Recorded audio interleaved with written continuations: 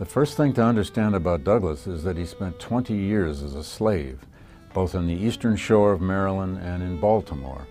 He suffered or experienced virtually all the physical and psychological traumas and scarring that slavery could wreak upon a human being.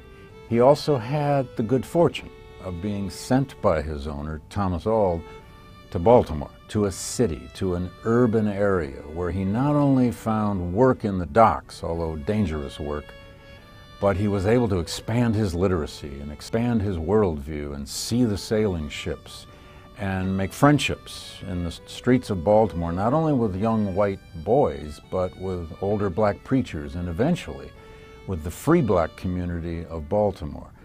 But Douglass left slavery with a rage in his heart, a scarring in his soul that he needed to vent and expend uh, throughout, frankly, most of the rest of his life.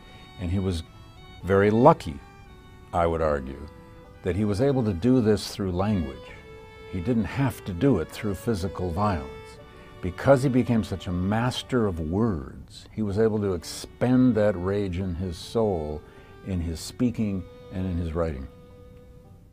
Millions of Americans saw their country, their story, through the ancient biblical story.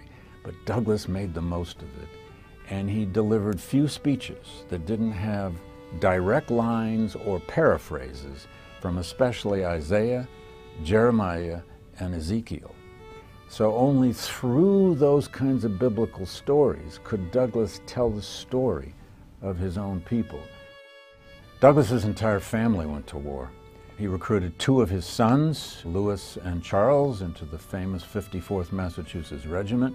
His third son, Frederick Jr., uh, enlisted to be a recruiter of black troops in the lower Mississippi Valley.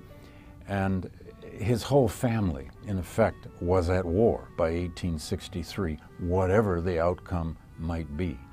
Uh, and for Douglass, this war was what he had dreamed of, and its results also were what he had dreamed of